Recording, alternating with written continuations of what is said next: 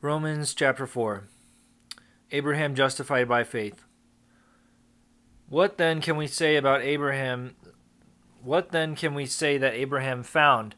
Our ancestors according to the flesh? Indeed, if Abraham was justified on the basis of his works, he has reason to boast, but this was not so in the sight of God. For what does the Scripture say? Abraham believed in God and it was accredited to him as righteousness. I mean, Abraham believed God, and it was accredited it was credited to him as righteousness.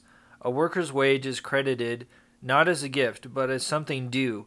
But when one who does not work, yet believes in the one who justifies the ungodly, his faith is credited as righteousness.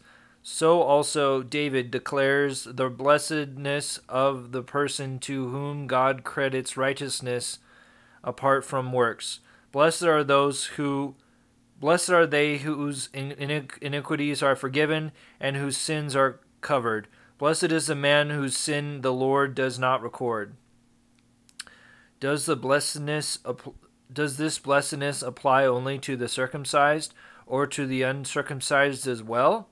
Now we assert that faith was credited to Abraham as righteousness. Under what circumstances was it credited? Was he circumcised or not? He was not circumcised, but uncircumcised. And he received the sign of circumcision as a seal on the on the righteousness received through faith while he was uncircumcised.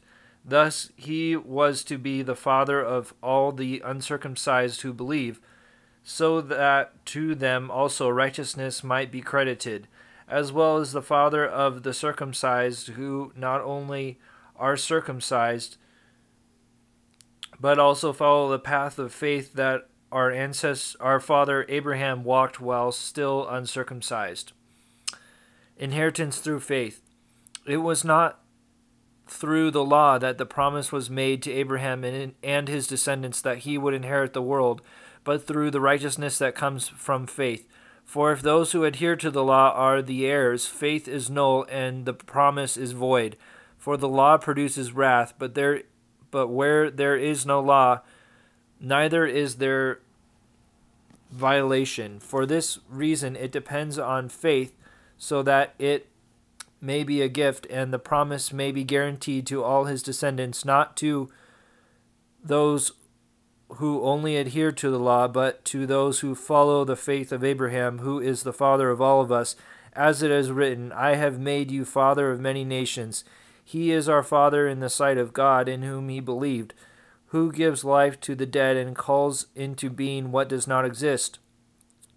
He believed, hoping against hope, that he would become the father of many nations according to what was said, Thus shall your descendants be. He did not weaken in faith when he considered his own body as already dead, for he was almost a hundred years old, and the dead womb of Sarah. He did not doubt God's promise in unbelief. Rather, he was empowered by faith and gave glory to God, and was fully convinced that what he had promised he was also able to do. That is why it was credited to him as righteousness. But it was not for him alone that it was written that it was a credit it was credited to him. It was also for us to whom it will be credited who believe in the one who raised Jesus our Lord from the dead, who was handed over from for our transgressions and was raised for our justification.